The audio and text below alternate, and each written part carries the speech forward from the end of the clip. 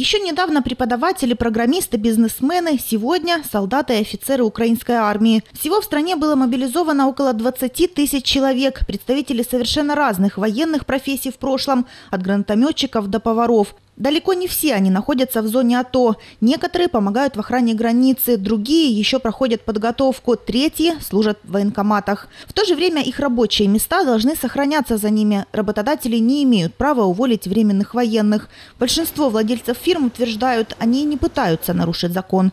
Директор одной из таких компаний Александр Кол подтверждает, что даже гордится тем, что кто-то из его коллег защищает страну. Первый мобилизованный работник компании, по словам Александра, уже третий месяц охраняет границу границы Украины. И его возвращения здесь очень ждут. Мы не э, не участвовали в всяческих попытках э, кого-то там, я не знаю, не пустить в армию или наоборот пустить.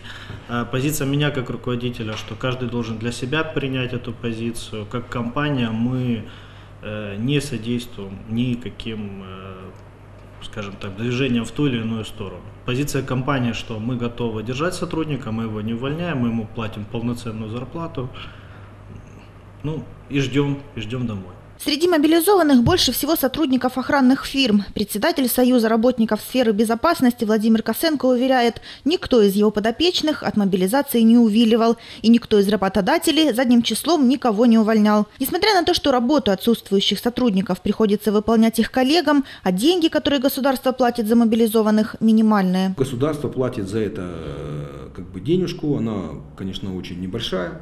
Вот. Но все-таки за штатного сотрудника, который отправлен, перечисляются деньги от военкомата. В частности, к нам эти деньги уже приходили. Там, правда, цифра 12, по-моему, с копейками гривен в сутки.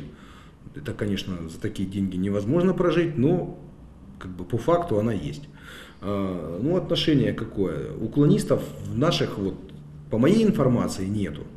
То есть те, которые придумывали какие-то варианты, дабы туда не пойти. При этом сами мобилизованные, рассказывает Косенко, особенно те, кто не находится в зоне АТО, пытаются не бросать и свою мирную работу. Те, кто может работать дистанционно и в окопах не расстаются с планшетами и телефонами. А те, кто служит в своем регионе, успевают и в офисы заехать. Э, некоторые офицеры даже приловчились уже работать так. Там вот в Сумской области конкретно, да, в 7 утра отвозят ребенка в садик, специально с семьи у них запустили его, едет туда на войну, как он говорит, в 6 часов она заканчивается, в 7 часов он вечера, в 19 он уже у себя в офисе, с 19 до 21 он работает в офисе, потом едет домой. То есть вот пытается как-то совместить, бросать нельзя. При этом и работодатели, и мобилизованные признаются, несмотря на готовность выполнять все требования военного времени, надеются, что вскоре ситуация урегулируется и ждут закона о демобилизации. Лариса Говина, Марина Николаева, Алексей Антонов, агентство телевидения новости.